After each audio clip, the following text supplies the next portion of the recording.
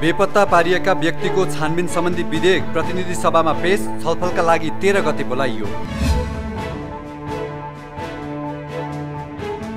सञ्चार मन्त्रालयद्वारा गत आर्थिक वर्षका प्रमुख उपलब्धि सार्वजनिक सात अर्ब साठी करोडभन्दा बढी राजस्व सङ्कलन।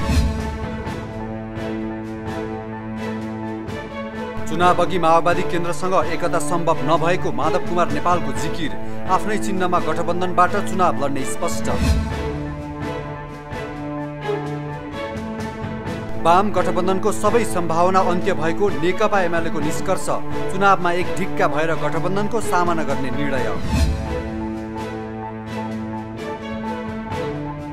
सप्तरीको बेहुल चारमा तस्कर समूह र प्रहरीबीच झडप ढुङ्गामुढा भएपछि प्रहरीद्वारा तीन राउन्ड हवाई फायर।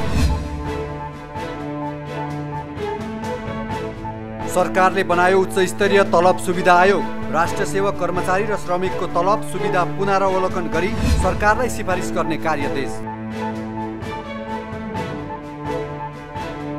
देशभर छ सय चौतिस जनामा कोरोना संक्रमण थप एकजनाको मृत्यु सक्रिय संक्रमितको संख्या चार हजार दुई सय एक्काइस। प्रदेश संरचना निर्माण भइसकेपछि विकासको तानासाहीकरण भएको प्रदेश एकका मुख्यमन्त्री राईको आरोप।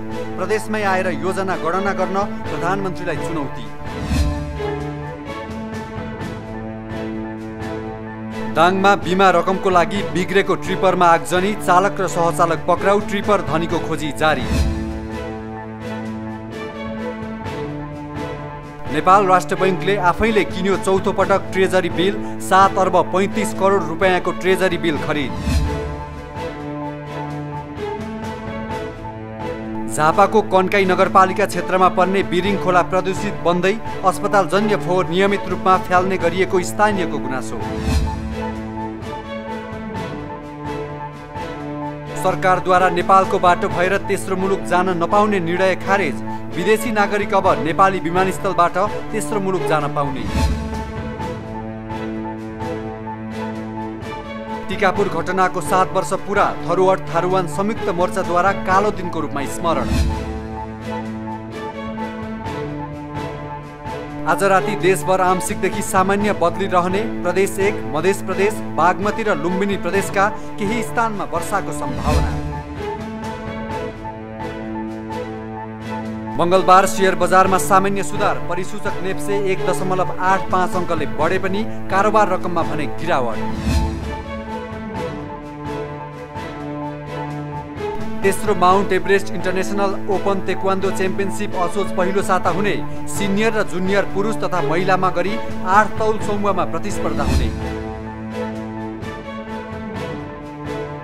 नेपालको एक दिवसीय अन्तर्राष्ट्रिय वरियता यथावत आइसिसीले सार्वजनिक गरेको पछिल्लो वरियतामा नेपाल उन्नाइसौँ स्थानमा कायमै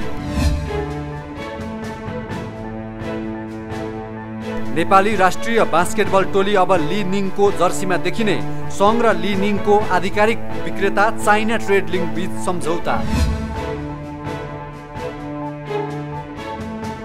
सुडानमा अविरल वर्षा र बाढीबाट कम्तीमा त्रियासी जनाको मृत्यु केही बेपत्ता पच्चिस हजार घर पूर्ण रूपमा क्षतिग्रस्त।